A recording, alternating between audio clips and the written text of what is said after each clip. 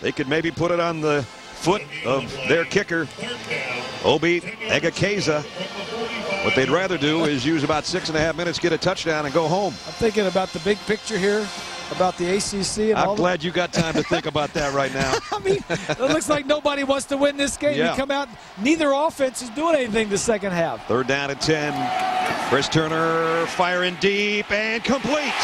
What a catch. Ronnie Tyler.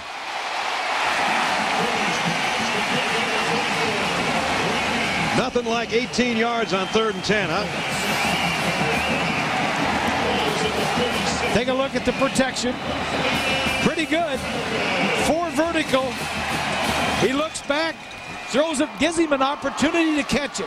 Puts it up high. He knows he's going to get tattooed by Kendric Burney, and he did, but he held on. He also knows it's third down, and he needs to make that play, and he made it.